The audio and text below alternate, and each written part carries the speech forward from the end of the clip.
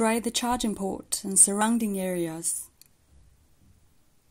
Loosen the cap. Make sure the robot is powered off. Plug in the charger.